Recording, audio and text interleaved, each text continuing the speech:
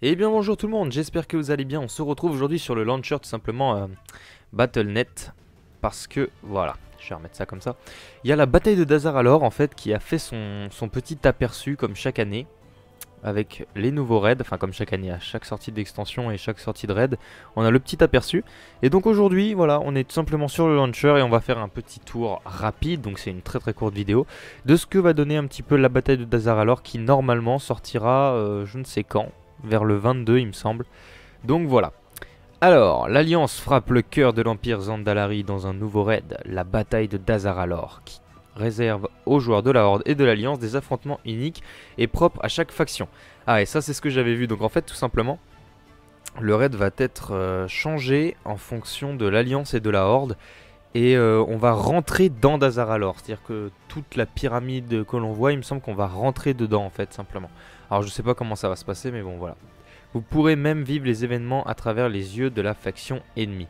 Ah ça c'est stylé, je le savais pas. Alors on pourra voir euh, les choses du côté de la faction ennemie. Je sais pas comment ça va être du coup. Je sais pas comment est-ce qu'ils vont faire ça. Est-ce que on va pouvoir par exemple avoir un replay du raid ou est-ce qu'on va pouvoir voir euh, tout simplement euh, en live ce qui va se passer? Bon, on verra. Bataille de Dazaralor. Depuis des temps immémoriaux, la cité de Dazaralor se dresse au cœur du puissant empire Zandalari. Donc ça, bien évidemment, Dazaralor, c'est la capitale de la Horde, à BFA. Ses gardes ont déjoué d'innombrables tentatives d'assassinat du roi Rastakan. Donc euh, le roi, tout simplement, qui est à, à Dazaralor depuis pas mal de temps, d'ailleurs, il me semble. Je sais pas depuis quand il est là, lui, mais ça fait longtemps. Et elle a surmonté des épreuves de toutes sortes. Mais alors que la guerre atteint les rives de Zuldazar, l'Alliance entreprend une manœuvre audacieuse pour assiéger la pyramide dorée et trancher les liens qui unissent les Andalari et la Horde. Bon, on verra bien ce que ça donne, mais moi je... Bon, voilà. Je m'exprimerai après dessus. Nombre de boss, euh, 9. Donc ça c'est pas mal. Mode raid, donc euh, JDR, normal, euh, JDR, n'importe quoi. Euh, LFR normal, héroïque et mythique. Donc le mythique sortira plus tard comme d'habitude. Euh, l'héros et le mythique sortent... euh, non, le mythique sort plus tard et l'héros et le normal sortent en premier. Et euh, l'outil raid sort en tout dernier il me semble. Je ne sais pas. Niveau 120, niveau d'objet minimum en mode outil raid, c'est 350 tout simplement. Donc moi ça va, je suis tranquille, je suis 378 il me semble. Voilà. Date de déblocage du raid, 23 janvier. Donc voilà, c'est le 23 janvier, mode normal et héroïque. Donc voilà, à partir du 23 janvier, on pourra le faire en mode normal et héroïque. Pas le mode LFR, c'est-à-dire pas la recherche, hein, mais bel et bien le mode normal et héroïque. 30 janvier, mode mythique et première aile du mode outil raid. Donc le LFR euh, première aile qui sort, dont je connais pas du tout euh, euh, la consistance, disons. 30 janvier, ça quand même, c'est dans 20 jours. Incroyable. 13 février, donc 15 jours plus tard. L2 en mode outil raid.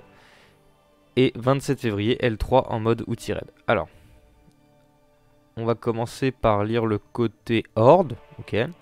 Dans ce raid, les joueurs de la Horde commenceront par affronter une invasion dans la jungle au nord de Zuldazar lors de la défense d'Azaralor. Ok. Oui, parce qu'eux, ils n'ont pas de déplacement à faire du coup. Au cœur Dazaralor, les rôles s'inverseront et les joueurs de la Horde pourront découvrir l'histoire, ainsi que trois combats, du point de vue de l'Alliance. D'accord, donc on pourra voir ce qui s'est passé en fait, tout simplement. Pendant cet intermède, intitulé Le marché avec la mort, les joueurs de l'Alliance se métamorphoseront en soldats de la faction opposée en fonction de leur race et gagneront les bonus ratios correspondants. Ah ouais? Elfes de sang. La plupart des elfes de sang se transformeront en humains, tandis que les chasseurs de démons deviendront des elfes de la nuit. Gobelins, les héros gobelins se transformeront en gnomes, à l'exception des chasseurs et des chamans qui deviendront des nains. Va savoir pourquoi. Ah oui, tout simplement parce qu'ils peuvent pas jouer euh, la classe. Ok. Orcs, ces joueurs se transformeront en nains, sacré changement de perspective, j'imagine. Pandaren, les Pandaren resteront des Pandaren. Tauren, la plupart des Tauren deviendront des Draenei, mais les druides deviendront des elfes de la nuit. Trolls, les trolls se transformeront en elfes de la nuit, sauf les chamans qui deviendront des Draenei. Et les démonistes qui se transformeront en humains. Et ben purée, mort virement, ces joueurs se transformeront en humains. Et bah d'accord. Pourquoi ils ont pas fait les orques en humains? Enfin bref. Dans le dernier acte, la victoire ou la mort, les joueurs de la Horde reprendront leur personnage habituel pour tenter de repousser l'Alliance hors du haut siège lors d'une bataille qui les opposera à plusieurs de ses dirigeants les plus importants. Stylé Stylé, stylé. Bon. Euh, ma souris bug depuis euh, longtemps, mais je ne sais pas pourquoi. Alors, côté Ali, parce que c'est ce qui m'intéresse le plus, c'est ce que je vais le faire en premier. L'Alliance s'apprête à frapper le cœur de l'Empire Zandalari pour trancher les liens qui unissent les Zandalari à la Horde. Vous commencerez par mener un assaut naval sur les quais de Dazaralor lors du siège de Dazaralor, ok. Puis vous pénétrerez dans la salle du trône du roi de Rastakan. Direct. Ah d'accord. Au cœur de la cité, dans la chute de l'Empire. Moi je pense qu'il y aura une petite avancée quand même. Bizarre. Bizarre, bizarre. Ah ouais, non, pour conclure, d'accord. Bon, bah direct. Ok, donc le côté horde est beaucoup plus long visiblement. Pour conclure l'événement, les joueurs devront s'adresser à un éclaireur afin de découvrir le point de vue de la horde et d'affronter les trois ultimes boss de l'Alliance. Dans ce dernier acte intitulé La puissance de l'Alliance, les personnages de l'Alliance se transformeront en soldats de la faction opposée en fonction de leur race et gagneront les bonus ratios. Bref, je vais pas tout relire. En fait, j'ai compris. En fait, on se, transforme en la faction opposée pour vivre le raid à 100%. Tout simplement. Ok, siège de Dazaralor, championne de la lumière, maître du jet de feu et Grong le revenant. Les troupes de Rastakan sont en Azmir, le moment est venu d'envahir la cité. Championne de la lumière, Rawani et ses troupes constituent... Alors ça c'est les boss, hein. c'est les, les, boss hein, visiblement. Hein. Rawani et ses troupes constituent la première ligne de défense face à l'Alliance. Ils ont juré de donner leur vie pour leur cité. Ensemble, ils se renforcent et se soignent mutuellement tout en repoussant les assaillants. Ok. Maître du jet de feu, pour un profane, Maracro sinistre et, et Anatos. Ah ouais d'accord, entre Nathanos et Anatos, vents de feu peuvent sembler mal assortis, en vérité leur travail d'équipe est sans égal, leurs assauts combinés sont suffisamment puissants pour renverser les adversaires les plus redoutables. Ok. Et Grong le revenant, donc Grong qui était un, allié de l'Alliance durant, euh, durant la campagne militaire des flots de la vengeance, les, le chapitre 2 et 3 il me semble, ou 2 seulement. Oui, deux, parce que le troisième chapitre, c'était euh, la salle du trône. Enfin bref. Autrefois, prêt à tout sacrifier pour servir l'Alliance, le puissant Grong a été ressuscité pour combattre ses anciens alliés.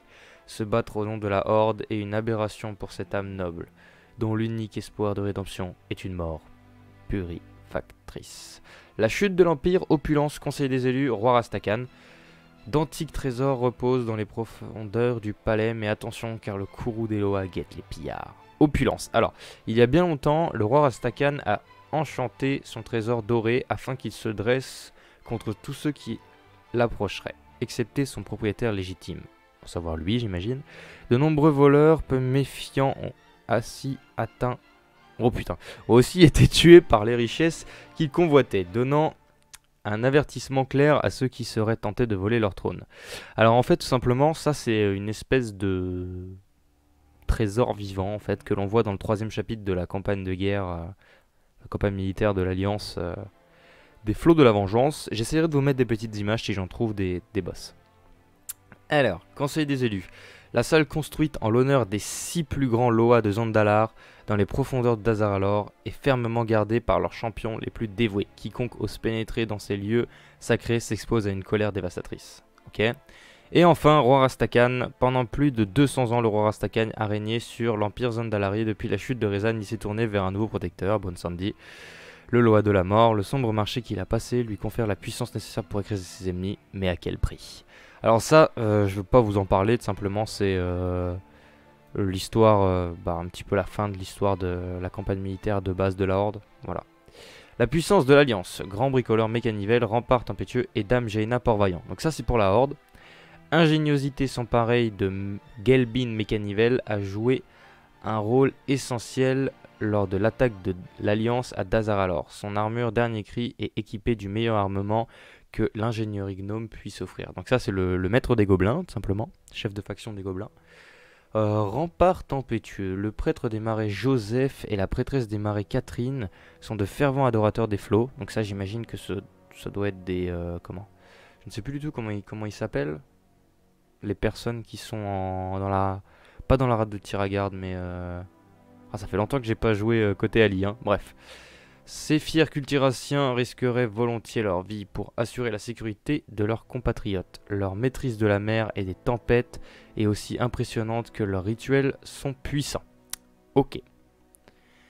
Dame Jaina Port-Vaillant, donc qui est le boss pour la Horde, du coup, j'imagine.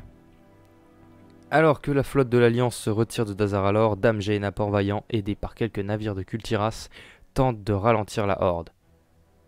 Ah ouais? La tempête gronde dans les cieux tandis que Jaina entraîne ses poursuivants au cœur de la Grande Mer où elle s'apprête à jouer son dernier atout. Que l'on verra j'imagine dans le raid. Nouveau fait, donc ça voilà. Hein. Je vous laisserai euh, les lire. La victoire ou la mort, le marché avec la mort, la chute de l'Empire. Ouais, vaincre les boss, mode normal ou supérieur, tout simplement. Pas mal, hein. Mode mythique. Il y, a une monture sur Jaina en mode mythique. Hein. Il me semble qu'elle est déjà dans le jeu, elle est magnifique. C'est un, élémentaire, j'essaierai aussi de vous mettre une photo. Ok les amis, et eh ben ça m'a l'air euh, plutôt pas mal. Moi j'ai très très hâte que ce raid sorte, je sais pas vous. Mais euh, bon, j'ai déjà souillé à max le dernier raid là, donc euh, j'ai extrêmement hâte qu'il sorte. Ça a l'air d'être la première fois qu'un raid se passe comme ça, en deux parties. Donc ça promet plutôt pas mal. Voilà voilà, j'espère que ce petit style de vidéo différent vous aura plu. On se retrouve très très bientôt. Ciao tout le monde et salut